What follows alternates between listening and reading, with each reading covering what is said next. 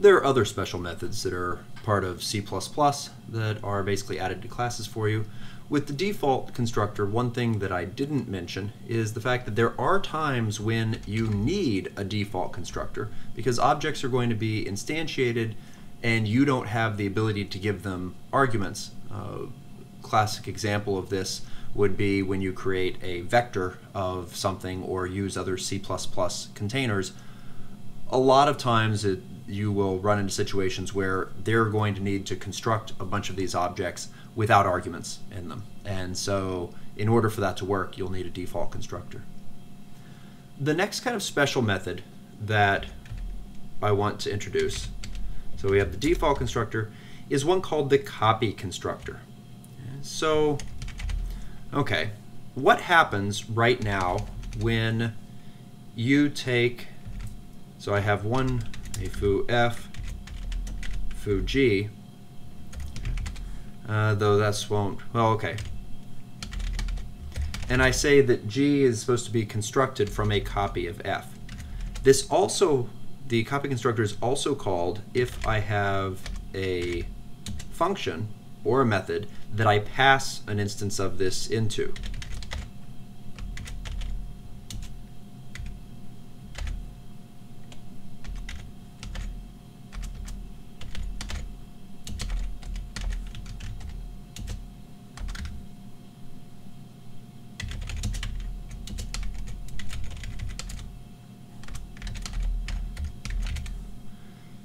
So when we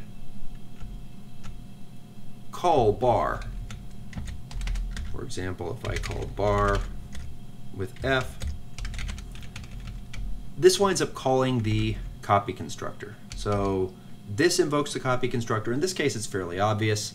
Uh, note that in C++11, you can use the curly braces, and indeed it is recommended that you use the curly braces. That's still passing an argument for the initializer there.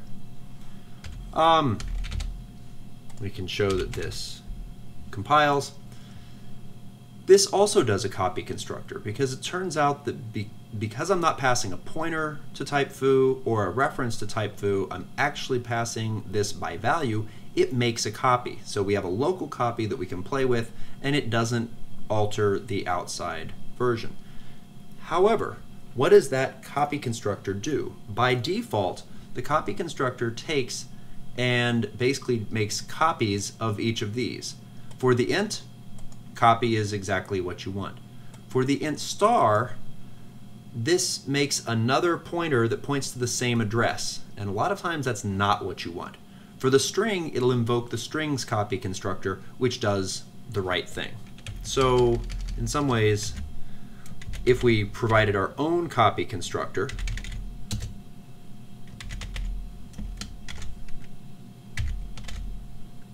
okay, then A would be initialized to f.a, B would be initialized to f.b, and s would be initialized to f dot s. That's basically what the default copy constructor will do. And just to show this, print line, uh, not print line, cout made a copy to demonstrate that this really is happening. When I run this, made a copy, made a copy, stuff. Uh, so the first made a copy gets printed because this line happens. The next meta copy is when this f gets copied into this foo object, and then it prints out stuff.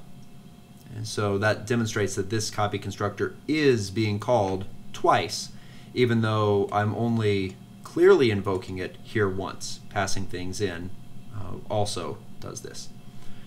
Most of the time, when you have pointers in a class, though, this is not the behavior you want. I don't want two different objects that point to the same chunk of memory.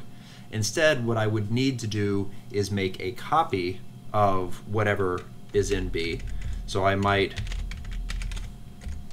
do that, and then you know, B equals new int Who knows?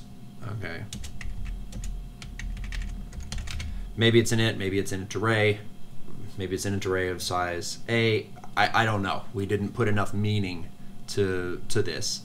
Uh, but it makes a and then I need to would need to copy over the values. So star B equals uh, foo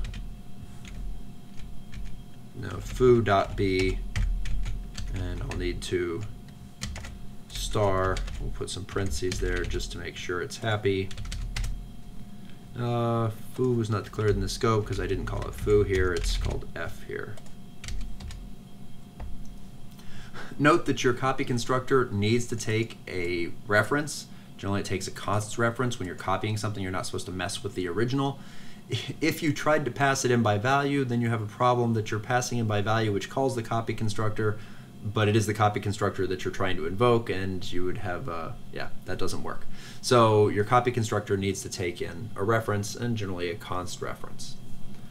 Okay, so the copy constructor is our second special method that is provided by C++.